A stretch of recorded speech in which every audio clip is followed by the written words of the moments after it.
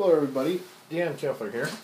I've got a little project that I'm working on. Um, I've got a bunch of projects that I'm working on uh, with the the not so much spare time that I have.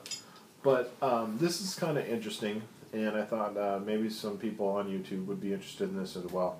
Uh, one of the things I've been doing is I've been testing different steels um, with the Blade Sports uh, cutting competitions, and that's been giving. Uh, it's been over the last few years been a great testing ground for different materials and stuff. Uh, CPM M4 has been a steel that, that I, I believe wasn't really popular for knives until we started using it in cutting competitions, and it's it's done some some really good things uh, as a as a steel uh, for cutting competitions because of how thin we can run it uh, and still maintain uh, uh, an acceptable level of durability with as thin as we're running the edges and stuff.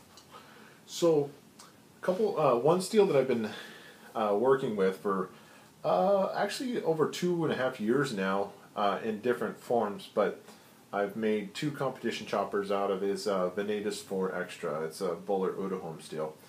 And it's a steel that I really looked into because of uh, a, a, a, different group of properties that uh, it, it has, some characteristics that it has that uh, lend itself to being a great competition cutter. Now, um, to sum up what, what my impression of it is, so here's here's a competition blade out of Vanadis 4 Extra, and I've got another knife that's completed out of this steel.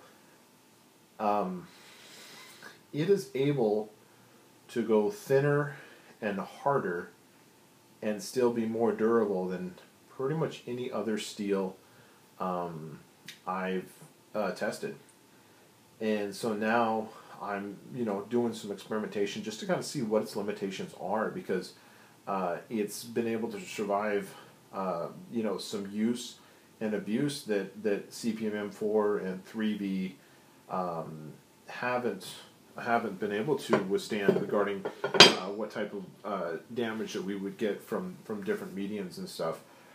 Um, so, like a specific example would be if I take uh, my edge down to the thickness that I normally take it down to, and then sharpen it, you know, uh, 30 degrees inclusive, uh, 15 per side, and then you know just cut multiple two by fours and go through similar things like a cutting course and everything. We can only take the edge so thin before it's real likely that you you'll ripple the edge or even chip. But I've been able to take this thinner than any other steel that I've used, and it's maintained its rigidity, so I haven't rippled the edge and I haven't chipped it uh, in the in the test knife that I've been using uh, for about a year and a half now, a little over a year and a half. So, one of the ways when I when I make one of these choppers and stuff, I end up with different chunks of steel, like what we'd call drops and everything. So I've got um, some pieces set up here, and I've made identical thickness pieces, and then I'm going to go back and grind them. So these are heat treated, but they're actually done with different heat treat protocols. And uh, some are finished out with a Rockwell of 64, and some are finished out with a Rockwell 62. And I'm taking these down to, um, these are taken down to pretty much a zero ground edge. It's actually a hollow ground, zero ground edge. Um, and we're going to sharpen them like straight razors and uh, see if, uh, you know, how they fail when they fail and, and what, what type of properties we get out of the edges. And that'll give me an idea, you know, if I want to alter the heat treat with a chopper or if I want to, you know, alter the heat treat if I'm using Vanadis 4 Extra for specific knives. Uh, and, and their purpose.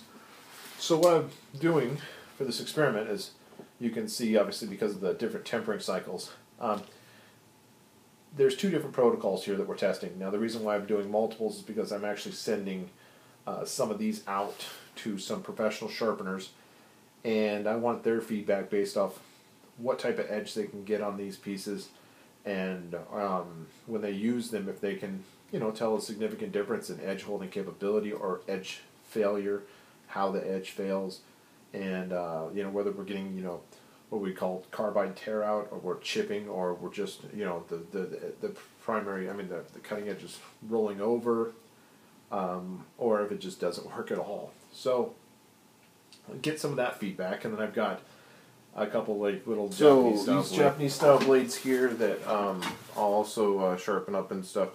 Um, once I get some feedback and once I get to utilize these, especially with some of the new sharpening systems that I'm working with, uh, get a more more of an idea of um, what type of potential this steel has. Um, as is, you know, with the basic heat treat that we've done um, with the competition chopper, um, more of a conservative heat treat because the, the material was really hard to get. Uh, I'm really impressed with it. Really satisfied with um, just just the overall performance characteristics of the steel, the the, the type of performance that I can get out of it. Um, it's not, uh, you know, with cutting competitions, you know, as, as long as the knife survives the the competition, uh, you know, with with an acceptable level of sharpness, you, you could do just fine. But um, I've just been real impressed with how much uh, uh, use this knife, the, the knife that I've been testing, has been able to take with uh, with novices and uh, you know and uh, and really experienced cutters, um, and just how well it's been able to hold up and how it just hasn't really shown any sign of, of damage and stuff. So um, that's about the end of this video. That that gives you an idea of uh, some of the things I do when I'm testing out steels and uh, you know, it, it, it's a long process to actually figure out um, what, you know, I consider the ideal heat treat for the type of uh, properties that I'm looking for for the steel. And sometimes the heat treat varies according to the size of the blade and what the blade's going to be used for.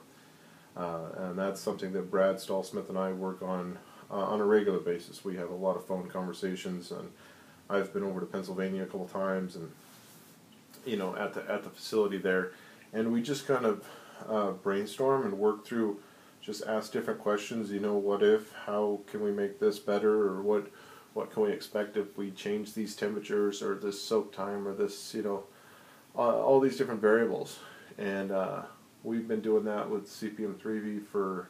Uh, it started working with Brad in 2005, so almost 10 years, and um, uh, you know we've got it to a point where I'm really satisfied with the type of performance I get out of it and the all-around performance. And then we've done that with M4 quite a bit. We're working with PD1 and, and then this Vanadis 4 Extra. Um, I also have Brad Heat Treat, uh, my um, AEBL that I'm using for kitchen cutlery. He, treat, he treats Elmax for me sometimes, but I'm, I'm getting away from Elmax. Uh, so yeah, uh, hopefully you find this video interesting, and um, I'll uh, give you guys updates on uh, how this this experiment works out.